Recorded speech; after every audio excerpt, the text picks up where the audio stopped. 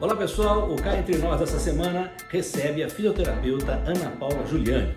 para falar sobre a fisioterapia no envelhecimento saudável. Nossa entrevista está muito bacana e, é claro, eu sempre conto com a sua audiência. Até lá!